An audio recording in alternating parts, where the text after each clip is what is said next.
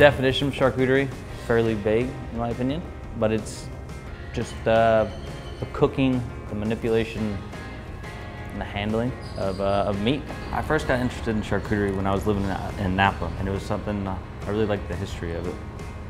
Uh, it runs pretty deep, taking a whole animal and using every part of it seemed like the right thing to do. My name's Andrew Wiseheart. We're at Contigo Restaurant.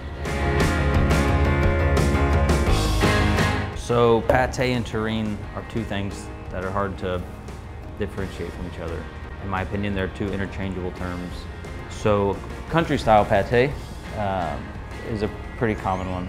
It's ground, ground meat, ground fat with heavy garnish in it, all mixed together. And we put that into a mold and bake it off in a water bath and then let it cool in the mold for a couple days. Emulsification, the binding together of fat and water, the water being the meat. So an example would be a bottle of vinaigrette and it's separated, set in your refrigerator, and you shake it up.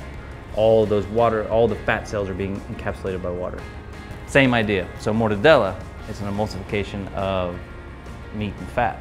We do things a little different with our charcuterie here. We do them as composed dishes as opposed to a big charcuterie board. Uh, we've got a lot of garden clippings that we like to take a lot of different things in the garden that we like to take on the charcuterie plates. So the coppa, for instance, it's rich, salty, dry meat. So we like to balance that with uh, a bright orange oil um, and some sorrel, some nice tart sorrel from the, from the garden. Pork liver pate. Pork liver is usually not a, a high selling item, uh, but so this is a pork liver emulsified with pork fat with spices. It's cooked in a water bath. We try and let it sit for two days before we cut into it. And we serve it with eggplant fritters, so fried eggplant with Contigo Ranch honey, some toasted bread. That's it, very simple, but it's a big seller.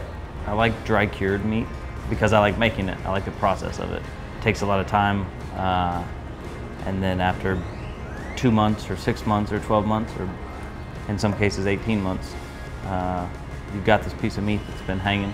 The suspense before you cut into it is is what it's all about for me.